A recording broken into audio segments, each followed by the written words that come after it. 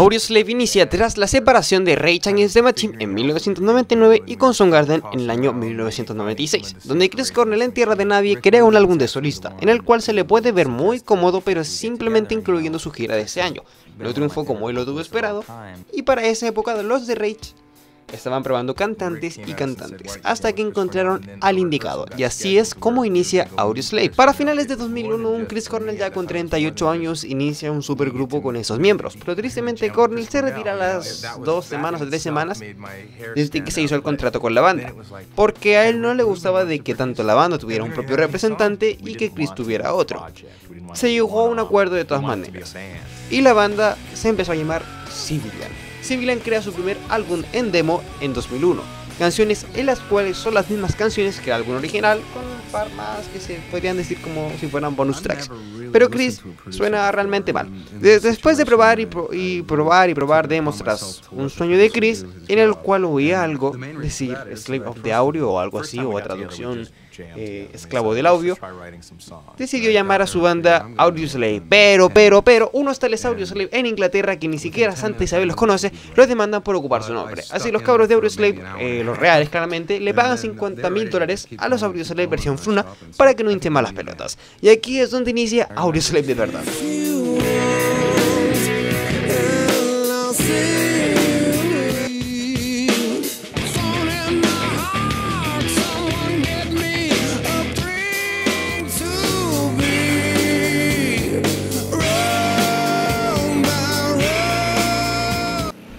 La primera vez que podemos apreciar esta banda es con un concierto.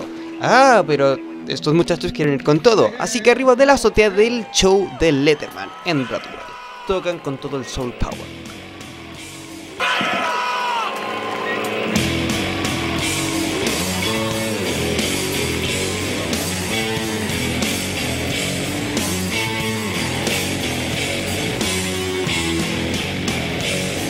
Después de hacer esto, dan a publicar su primer sencillo, Cochis o Cochais, yo nunca supe cómo se escribía, con casi 300 mil dólares de presupuesto en fuegos artificiales, siendo así el video musical más exagerado en la historia. Tanto así que tuvieron que llamar al gobierno, si mal me equivoco, porque pensaban de que se trataba de un ataque terrorista.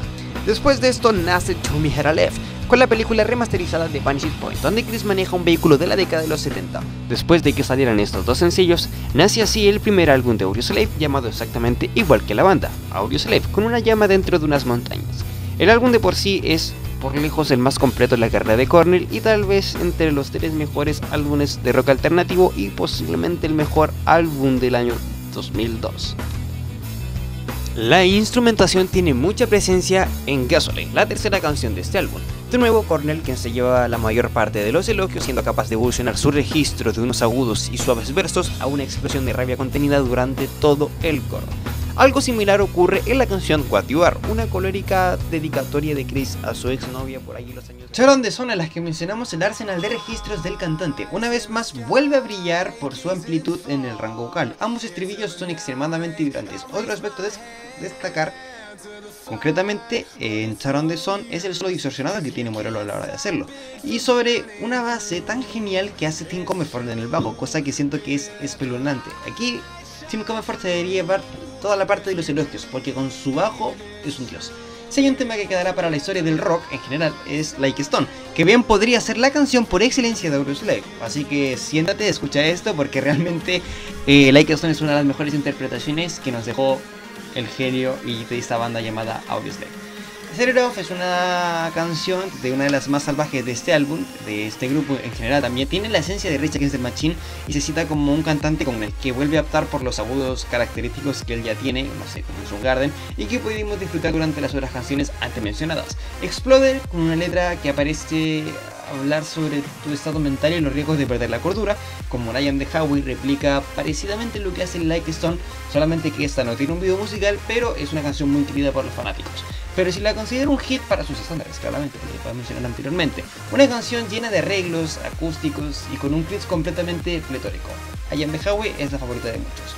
Otra canción a mencionar es Crazy Car, con un sonido más clásico que I Am The Hypnotize que muestra ese lado alternativo que tiene Audioslave y que le da un toque techno. Canciones como Bring Em Back Alive o la potente Like My Way vuelven a resucitar esa rabia o impotencia de Chris con, la música, con la distorsión de voz que me recuerda mucho a Blow Up the Upside. El disco finaliza con The Last Remake Live, una canción melódica de 6 minutos con un sonido poco cambiante donde a medida que va avanzando, Chris se, se desenvuelve en la perfección. Para esos años se dieron grandes giras de los muchachos, pasaron por Pinkpop, que haya en Holanda, Rock and Ring, Hullspread, que es uno de mis conciertos favoritos, Lollapalooza, entre otros, donde vimos que Cornell ya no llegaba a esos tonos altos que tenía en su Garden. Pero vimos esa voz y esa genialidad de la banda sonar muy parecido en estudio. Ya para 2004 se empiezan a tomar un descanso, además de que Cornell iba a ser padre. Y eh, este es el preciso momento en el cual llegamos a Oro.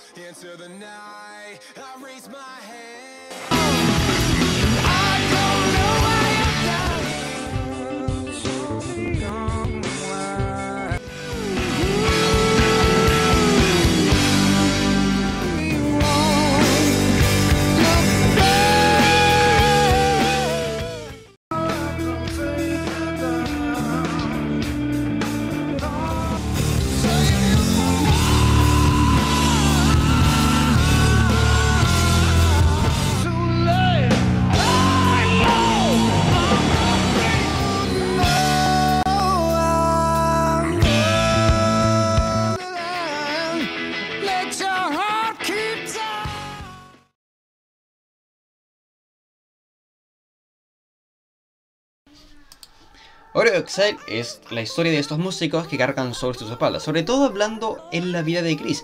Es una obra que profundiza y consolida el estilo que habíamos visto en el álbum anterior, acudiendo en la mayoría de las canciones a esa típica estructura de calma y luego pum, tormenta. Esa amigable combinación de versos melódicos y dulzura que sigue viniendo de Audio Slave no falla y tampoco aburre. Y la verdad es que la voz de Cornell es ideal para estas ocasiones, a pesar de que Chris se encontraba en su peor momento de manera vocal. Pues Chris en general es un abrir y cerrar de ojos de un tono frágil que puede explotar y puede salir con mucha fuerza y mucha actitud, lo cual lo hace un cantante histórico y también uno de los mejores cantantes de la historia.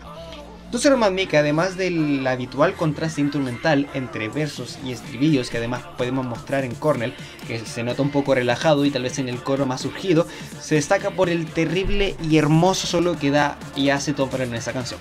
Si bien muchas cosas cambiaron de Rage de Machine a Audio Slave, algunas permanecen exactamente iguales, pues son propias de los integrantes de la banda. Y eso se aprecia en Tom Morello que sigue siendo exactamente lo mismo. Y eso se aprecia también en Your Time is Come, Drum Slowly o hasta incluso en Animal.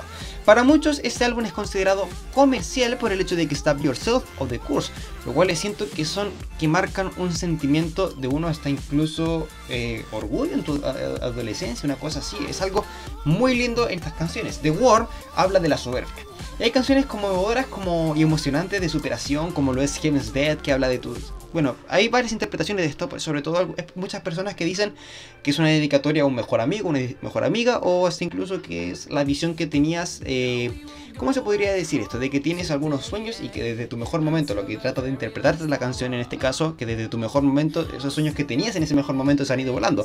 Y este Radio Tomorrow, que también es un momento de superación, y no olvidar la dulce canción de Danteleon y todo el poder vocal que apreciamos en este álbum en One Zero. El álbum ya estaba listo y como Audioslave siempre ha sido una banda épica, en 2005 quisieron iniciarlo en todo, comunicándose con representantes para poder hacer historia en algún lugar. Y lo lograron. Audioslave inicia anunciando su gira con uno de los conciertos más épicos en la historia y tal vez uno de los más culturales. Audioslave en Cuba un 6 de mayo tras que muchos muchachos tocaran conciertos antes de este, Audioslave viaja a Cuba para romper el bloque entre Estados Unidos y el país caribeño, permaneciendo dos días en uno donde estuvieron todo visitando toda la parte turística de La Habana, hasta incluso invitaron al rapero cubano X Alfonso a cantar Jam, un concierto de casi 30 canciones con una duración cercana a las 3 horas, donde tocaron canciones especialmente para este concierto. Por primera vez Yesterday of Tomorrow, que fue la primera vez que se tocó ahí, y la penúltima vez fue tocada Heaven's Dead, que fue la segunda vez y la última vez que se tocó. De ellos, los muchachos de ese supergrupo se fueron muy contentos de Cuba. Tras esto, Slave suelta su segundo álbum y empieza la gira de conciertos como eh, Roskilde, Quart Festival, Tain the Park, Hollywood, México, Christmas Festival, entre otros. Durante durante octubre los muchachos empiezan a desconectarse, un poquitito. La química empieza a deteriorarse sobre todo entre Chris y Tom Morello. Para noviembre hacen un contrato para su álbum siguiente, para el año 2006, dejando canciones medianamente listas para noviembre de 2005, donde podemos verlas a final de la gira de Oro Exile. Canciones como War Awake, Mod y también creo que tocan War and the Same. La última vez que tuvimos la oportunidad de ver a Audioslave juntos fue un 12 de diciembre, donde ganaron un Grammy por la mejor canción de rock, que en este caso fue 12 Roman Mila que fue premiada. De hecho incluso Tom Morello ni siquiera se presentó, así que durante este mes finalizan y no vuelven a aparecer, y supuestamente iban a dar una gira para el siguiente año.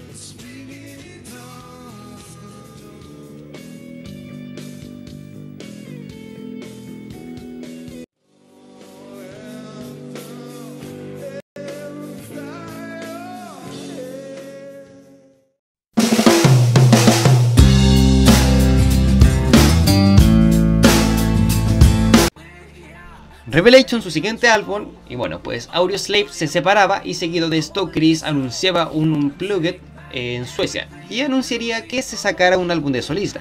Y entre las sombras de todo esto nace Revelation, un álbum que encuentro que es buenísimo, pero muy sacado a la rápida. El primer sencillo es Slave Hand, pero Tim odiaba esa canción, así que Revelation terminó siendo el primer sencillo donde en el cual se puede apreciar que pusieron un par de mensajes políticos, cosa que no lo habían hecho los dos otros álbumes. Algunas canciones políticas, como lo era Son of the Gone, War Away, Come, es y Fuego Original, y también con su grado de ansiedad, como lo es en Mod, Nothing Left, Say Goodbye y Sundays. Canciones las cuales quedaron en completamente abandonadas. ¿A qué me refiero con esto? Chris eh, para Carrion y Scream dio una gira de solista en la cual tocaba eh, canciones que fueran de su carrera pasada cosas como lo replicó en Audioslave. Tocó canciones del primer álbum y del segundo, pero en muy pocas ocasiones tocó del tercero, cosa que dejó. Eh, de hecho, ni siquiera cantó canciones como Son of the Gone en, alguna vez en su carrera, no tocó Days, tampoco cantó Revelations. Con suerte tocó Original Fire y War Awake. Y también eh, podríamos decir que Audioslave, ya que unido para el mismo lado, mostraron seguir teniendo una química excelente y es la prueba de ello. También el motivo de su separación se debió haber dado por la comparación entre Soundgarden y Rage Against the Machine, donde muchos fans de Soundgarden odiaban a Audioslave por su gran daño vocal. En su tiempo Audioslave fue muy criticado por los críticos profesionales. Revelations es un, es un álbum que habitualmente tira más que nada para el lado funk más que los otros álbumes. De esto Audioslave finalizaría para siempre y terminaría en 2017, donde tras 12 años vuelven a tocar, con un Chris no en muy buenas condiciones que digamos la verdad. Pero tristemente Revelations es eh, finalmente el fin de Audioslave y tal vez Audioslave estaba finalizando ya en 2005 porque eh, cuando sacaron Revelations estaban querían todos los, cuatro miembros no se llevaban tan bien y querían finalizar rápidamente el contrato de este álbum. Aún así, ellos anunciaron que en 2007 habían terminado por eh, terminado por completo la banda. Así que bueno, de todas maneras, a pesar de que fue en 2005, anunciaron que era en 2007. Porque para que no se equivoquen, porque en Wikipedia sale que eh, en 2007 terminaron, cosa que no, fue en 2005. Esto fue la historia y evolución de Audioslave. Si te ha encantado este video, por favor, suscríbete. Bueno, ni siquiera me, parece estúpido decir eso. Si te gustó realmente, si te gustó el contenido, de verdad, adelante, pues suscríbete, dale like si te gustó de, verdad. Y si quieres opinarme algo sobre si que hice mal en este video, pues me encantaría que me lo comentaras para saber en qué puedo mejorar. Eh, ya estamos a punto de llegar a los 1500 suscriptores. Vamos a cumplir un año recién en YouTube. Y esto fue la historia y evolución de Audioslave. Bye bye.